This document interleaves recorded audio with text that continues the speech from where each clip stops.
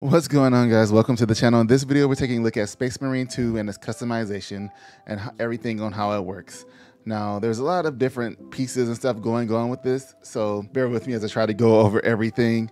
But there's a difference between your armor set and your Astartes chapters. Both of these are kind of connected and they aren't separate. So when you see custom armor set down here at the bottom, it's actually going to mean the actual armor pieces that your armor suit is wearing. When you go into the Astartes chapter, it's actually going to be your color pattern, what kind of colors you want to have, basically which chapter pattern you want to use, type of things going on here.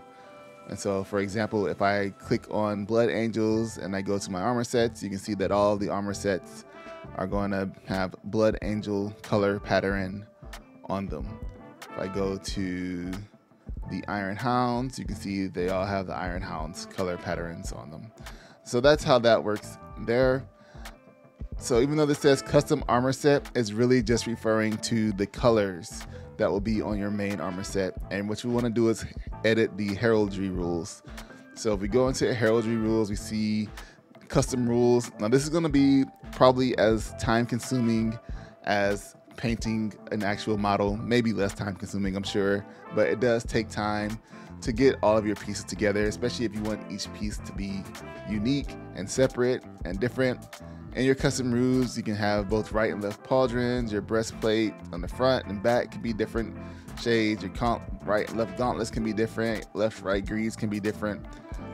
And that's what this is really referring to. See, I can put an emblem on here. And then I can change the color of the emblem that I have on there.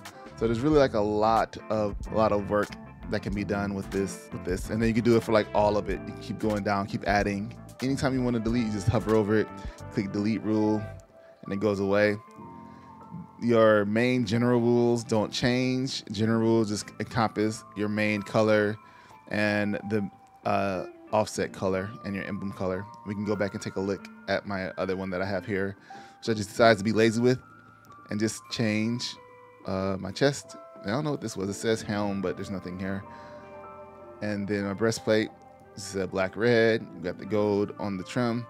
And that's pretty much what we did with with most of it. Kept it pretty simple. And when I go back to my armor sets, you can see that they're all keep the same armor color.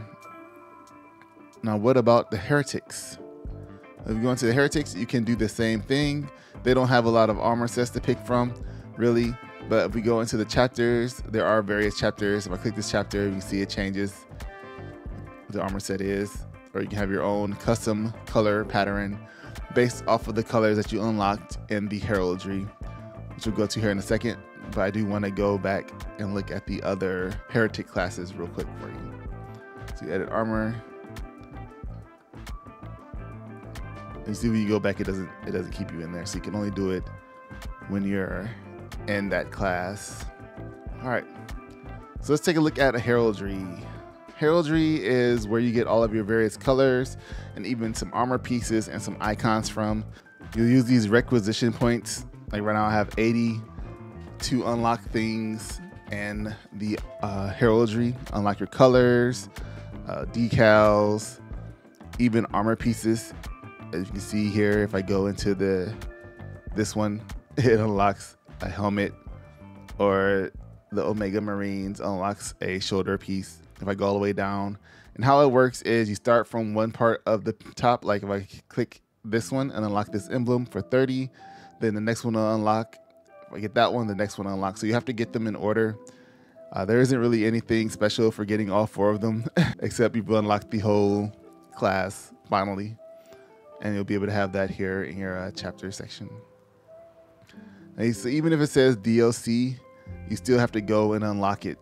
It's not just like it's unlocked automatically. You have to still pay the in-game currency to unlock those colors. The armor set and the colors sets unlock for the operations mode, but the PvE and PvP is different when it comes to your weapons.